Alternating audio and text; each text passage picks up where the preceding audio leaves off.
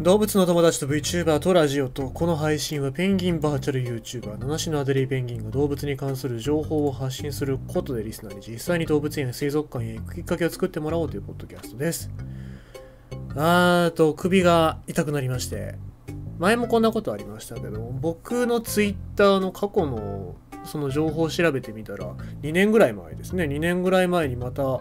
その時も首が同じように痛くなってんで曲がんなくなってっていうことで結構確か病院まで行きましたけど、えー、車の運転が危なくてさブレーキかけるためにその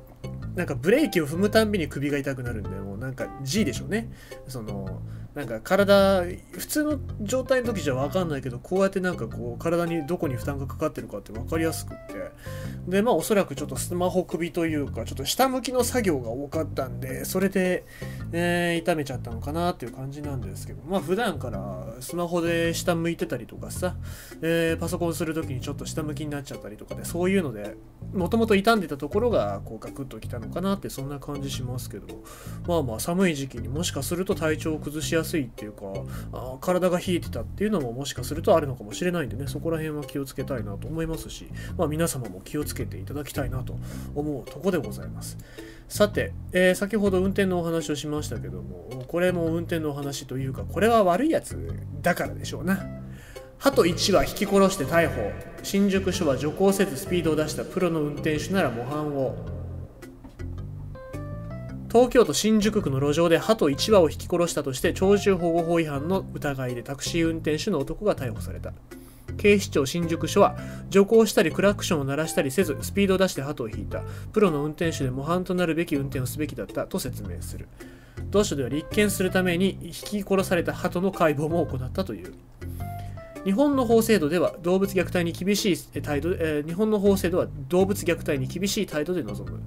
6月には名古屋市の男が狩猟可能区域外である市内の寺の境内や、えー、駐車場で朝カラスの鳴き声がうるさたうるさかったからと許可なく農薬入りの餌をまきカラス13羽を死なせたとして同法違反の疑いで逮捕された。令和3年3月には徳島県、えー、沢河内村かな。沢河内村役場に勤務する男が同法などで捕獲が禁止されている野鳥4羽を剥製にして自宅で保管していたとして略式起訴された。男は狩猟免許を持ち村の業務の一環でカラス駆除を担当。カラスと共に罠に入ったタカ、フクロウなどの野鳥計4羽を一緒に殺処分していたという。動物虐待を規制する法律としては一般に動物愛護法が知られる。同法は保護対象を牛、馬、豚、綿羊、ヤギ、犬、猫、イエウサギ、ニワトリ、イエバとアヒルとし、これらを野生でも飼っていても規制が適用される。このほか、哺乳類や鳥類、爬虫類は人が飼育している場合に保護対象となる。11月28日には病気の犬3匹に適切な治療をしなかったなどとして名古屋市のペットショップ運営会社の男が同法違反の疑いで逮捕された動物愛護法の対象外となりがちな野生動物にさらに保護の網をかけるのが鳥獣保護法だ。野生の鳥類や、えー、哺乳類を原則保護対象としむやみに捕獲したり殺すことが禁じられているということで。まあこのニュース聞いてえって感じですけども、まあ、わざと引いたっていうか意図を持って引き殺したっていうところが今回問題になってるわけですよね。まあ、あの、よく言われてます通りその事故で間違えて、えー、死んじゃった殺しちゃったっていうのはそれは対象じゃないんでですねまあそれでもまあ一応警察には届けてほしいなと思いますけども。えー、で例えば家に鳩が巣巣っつってもそんなになんか大した巣は作らないみたいですけど巣作って卵なんか産んじゃった時にその卵を無許可で潰しちゃったとかそういうことが、えー、分かってしまうとそれも鳥獣保護法違反になりますので、まあ、そういうことをしないようにっていうところもありますよね。まあ、とにかく、えー、意図を持って動物を殺そうっていう意識がある人は捕まりますよと、まあ、そういう解釈でございますので、まあまあ動物好きの皆様にはそんなことないと思いますけどもね、えー、まあまあそこら辺でちょっと心配になってる方もいらっしゃいますので、一応改めてご説明はしておきたいかなと思います。ちなみにあの僕道路上にうずくまってた鳩を助けた思い出があるんですけどその時は別になんか怪我もしてなかったんですね。そのままなんか道路上にうずくまってて渋滞してるからこれ邪魔だなと思って鳩を捕まえていやもう普通に手でガシッてやったらそのまま捕まったんで。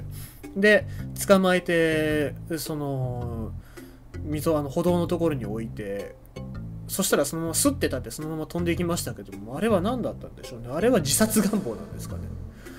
あれは助けてよかったのか良くなかったのか。まあでも引かれてましたからね、えーまあ、今あの鳩は元気にしてるんだろうか、まあ、もうだいぶ昔の話なんで死んでると思いますけども、えー、まあもし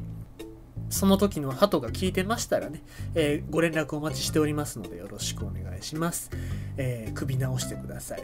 えー、ということでございまして今日のニュースは鳩をわざと引き殺した男逮捕されるということでございました。え、今日は鳩みたいに首が動かせない七品デリーがお送りしました。